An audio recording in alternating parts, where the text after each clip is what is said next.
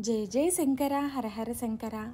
అద్వైతం కంచి పరమాచార్య అమృతవాణి. మనస్సు లేకుండా ఎరుక. మనస్సుతో సంబంధం లేకుండగా కేవలం ఏకాంత స్థితియే అద్వైత మోక్షం జడస్థితి కాదు.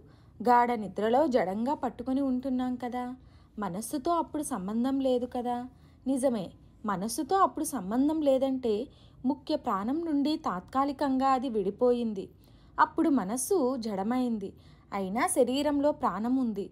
అందువల్లనే రక్త ప్రసరాదులు సాగుతున్నాయి. భగవానుని మాయ వల్ల మానసిక భావాలను మాత్రమే గుర్తిస్తున్నాం. మానసిక పరిధిలోనున్న వాటిని మనకు చెందనవని భావిస్తున్నాం. ఏ మనస్సు సాయంతో భావిస్తున్నామో అది అణిగినప్పుడు ఎట్లా జీవనం ఉంటోందని ఊహించలేకపోతున్నాం.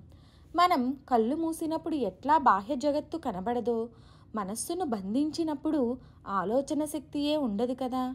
అయితే కళ్ళు మూసికొన్నంత మాత్రంచే ప్రపంచమే పోతుందా? గడియారం పనిచేయనప్పుడు కాలం అంతా స్తంభించిందా? అట్లాగే మనస్సుతో సంబంధం లేని ప్రాణశక్తి కూడా అనుభవించగలదు.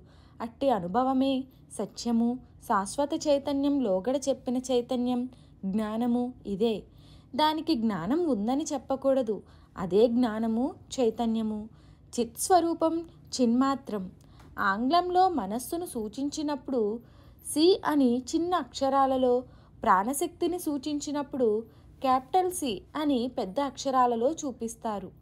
ఈ పెద్ద నేను చైతన్యం చిన్న నేను మనస్సు పెద్ద నేను మనస్సు లేకుండా ఉంటుంది ఆ పెద్ద నేను లేకపోతే గాఢ నిద్రలో మనం లేకుండా పోతాం. మరిన్ని ఆధ్యాత్మిక విషయాల కోసం మా ఛానల్ను సబ్స్క్రైబ్ చేయండి.